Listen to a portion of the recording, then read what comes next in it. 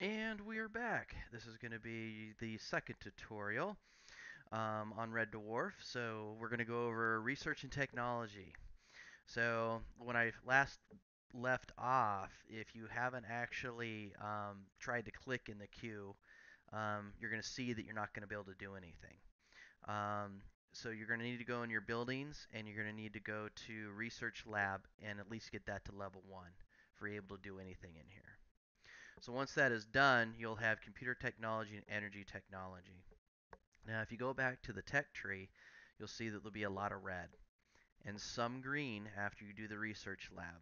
So you can already see that um, the computer technology, so the research lab, has met those requirements and made it green.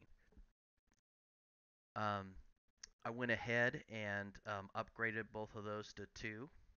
Um, you can actually upgrade some um, a now a plasma engine, so I can start that upgrade. And you can see it starting to do the countdown now.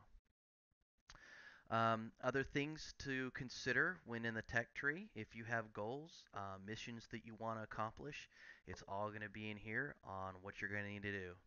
So it's kind of like if, um, let's say you want to build your first ship, then you're going to need your shipyard to level 1 and your plasma engine to level 1 as well.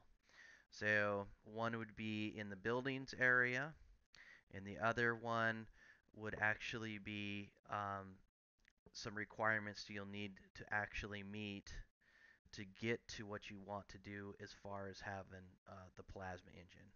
So, um, and you're actually almost ready to go. So we got uh, the research lab and the energy technology done. Um, the plasma engine we're building right now. So after that, um, it looks like we'll be able to have build our first Defiant class starship, which will be in the next tutorial. So um, hope everybody's having a good time playing, and thank you for watching. Bye.